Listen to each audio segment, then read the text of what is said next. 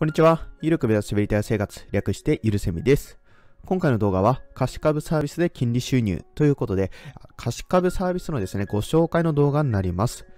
貸株サービスっていうのがですね、証券会社の方にありまして、まあ、そちらのサービスを利用しますと、自分の持ってる長期保有している株とかですね、配当金狙いの株っていうのを貸し出すことによって金利収入っていうのを得ることができます。ということで、その具体的な方法だったりメリット、デメリット、今回解説していきたいと思います。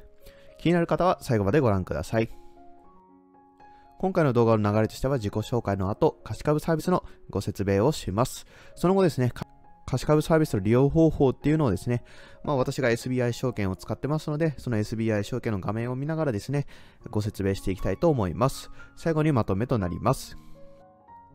では自己紹介ですね。私、ゆるせみと申します。29歳の会社員独身で一人暮らし。YouTube の方にはですね、セミニタイに関する動画っていうのをアップしてますんで、もしよろしければチャンネル登録の方よろしくお願いします。ではですね、貸し株サービスとはということで、メリット、デメリットも交えながら解説していきます。えー、貸し株サービスっていうのはですね、自分が保有している株式をですね、証券会社に貸し出すことによって金利を受け取るサービスになります。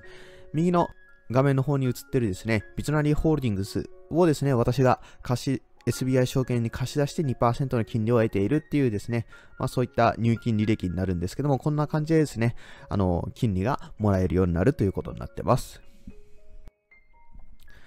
ではですね、メリットの方からですね、少し見ていきたいと思います。メリットその1、保有しているだけの株から金利がもらえるということですね。まあ、長期保有している株だったり、株価が一気に下がってしまって塩漬け状態になっている株っていうのはね、まあもしかしたら皆さんお持ちかもしれないんですけど、そういった株ね、そのまま持ってるだけでは何のお金も生み出さないわけなんですけども、その株をですね、証券会社に貸し出すことによって金利っていうのがもらえるというところで、資金をですね、効率的に運用できるっていうところがメリットのその一つですね。で、メリット2つ目、意外と高い金利の株もあるということですね、まあ、僕が確認した中で SBI 証券の、えー、金利、えー、貸し株の金利でですね、一番高いもので12%ありました。ですから、高い金利も意外とあるんだよというところがですね、メリットの2つ目ですね。次にメリットのその3、株主優待や配当金相当額も受け取れる。ということで、貸し株してる間っていうのはですね、自分が保有してるわけじゃなくて、えっ、ー、と、証券会社の方が保有してるような形になるんですけども、そうなってもですね、あの、株主優待の権利日だったり、配当金の権利日、その時にはですね、自分が保有してるように戻ってくるっていうですね、制度っていうのがありますんで、その制度をですね、選ぶことによって、株主優待だったり配当金っていうのもですね、ちゃんと受け取れますよっていうことです。次にメリットの4つ目。貸し出し中でも売買可能ということで、長期保有している株式をですね、証券会社に貸し出している間もですね、自分はですね、株価が上がったら、ちゃんと売ったりとか、買ったりとか、そういうことができるということですね。これがメリットになります。ではですね、デメリットの方を見ていきます。デメリットの1つ目、証券会社が倒産すると貸し出し中の株は返ってこないということですね。えー、貸し出してる先のですね、証券会社が搭載してしまうと貸し出し中の株返ってこないので、その点注意してください。次にデメリットの2つ目、株主優待の長期保有特典などは受け取れないかもということですね。まあ、JT とかですね、他にもですね、あの、会社の株主優待によってはですね、1年保有してればこういう特典がつきますよ、2年保有してればこういう特典がつきますよ、っていうですね、えー、長期保有特典っていうのがある場合があります。しかし、えー、株をですね、貸し株ということで、証券会社の方に貸したり、ね、株主優待の権利に返ってきたりっていうことをやってますと、株主のあの情報っていうのが書き換えられる可能性がありまして、そうなってしまうと、同じ人がずっと保有していたっていうふうにですね、受け取られない場合があります。そうなってしまうと、長期保有特典っていうのはですね、受け取れないということになってしまいますので、注意が必要になってきます。デメリットの3つ目。金利や配当金相当額は雑所得になるということで、えー、金利だったり配当金相当額っていうのはですね、雑所得になります。雑所得になると何がデメリットなのかって言いますと、20万以上を超えるとですね、確定申告が必要になってくるということになってきます。ですからですね、まあ、配当金だったらですね、基本的にえー、税金とか引かれた状態で自分の口座に入金されてくると思うんですけども、貸し株サービスの場合は金利だったり配当金相当額、これがですね、税金が引かれる前に、えー、入金されてくるというような状況になってきます。次にデメリットの4つ目、金利は随時変更されるということですね。貸し株の金利っていうのはですね、結構ですね、変わったりします。で、3日前に連絡とかは来るようにはなってるみたいなんですけども、それでもですね、3日前とかなんで結構急に変わるような、えー、感覚でいた方がいいかもしれません。次にデメリットの5つ目。NISA 口座の株は貸し株できませんということで、えー、貸し株にできるのは特定口座か一般口座の株のみになります。ということでですね、これらがデメリットになります。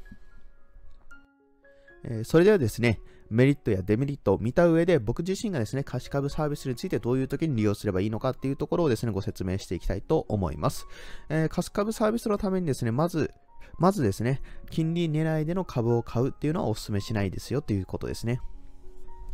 えー、貸株サービスの金利12%とか非常に高いわけではあるんですけども、金利が高いということはその分ですね、その会社が抱えるリスクっていうのも大きいということをちゃんと認識しないといけません。ですから、金利が高い株をですね、買って貸し株に出すということで金利収入を得ようと思っている方がもしかしたらね、いるかもしれないんですけども、そういうのはお勧めしませんよということですね。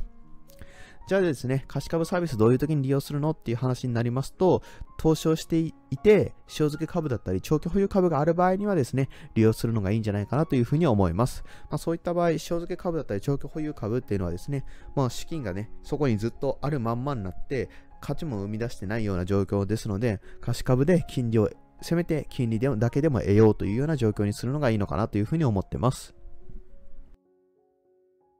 ではですね、貸株サービスの利用方法っていうのをですね、SBI 証券のスクリーンショットをね、えー、用いながらですね、ご説明していきたいと思います。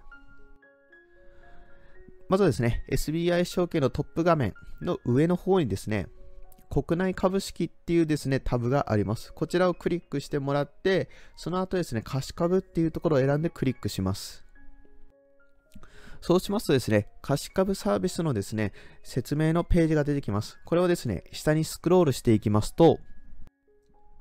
うやってですね、まあ、特徴がいろいろ書いてあったりするんですけども、その中でですね、この黄色いボタンですね、貸株サービスのお申しお申し込みはこちらというですね、ボタンがありますので、こちらをクリックして、必要事項を入力して、貸し株サービスが受けられる状態にするっていうところがですね、まず一つ目の段階です。次にですね、貸株サービスを受けられる状態にしたのであれば、証券会社に株を貸さないといけませんから、その設定をやっていきます。まずですね、また SBI 証券のトップの画面から、この口座管理をクリックします。口座管理をクリックすると、まあ、口座サマリーとかこういった画面が出てきますので、貸し株のタブっていうのをクリックします。そうしますと、今自分が保有しているものの中で貸し株に出せる株式っていうのがですね、あの表、表というかこのような画面になって出てきます。で、この中からですね、何を貸し株にするかっていうのを決めてですね、貸株振り替えっていうタブをですね、クリックします。そうしますと、このような画面になりますんで、えー、左下のですね、振り替え先指定っていうところを貸株へ振り替えっていうところにチェックを入れまして、下へスクロールします。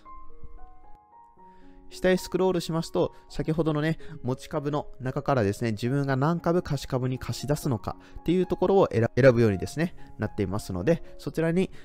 えー、貸し出す株数っていうのを入力して、そして最後に振り替え確認画面へ進んで、で、確認画面で確認して OK っていう風に入力すればですね、貸し株成立ということになります。一つだけですね、気をつけていただきたいのは、貸株に出すことによって自分自身の保証金っていうのがですね、減ってしまうわけですので、信用取引とかをされている方はですね、その点ご注意ください。